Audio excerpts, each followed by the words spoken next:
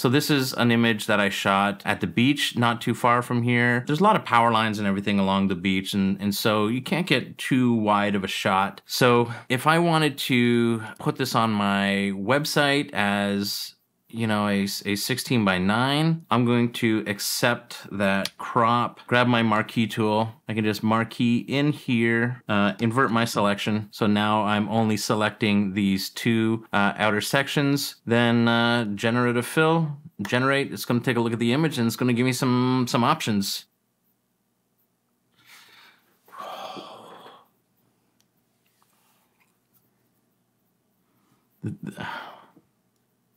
Like all of these I looking at all of these options, all of these options are are are great. Like that is that actually looks like the beach too.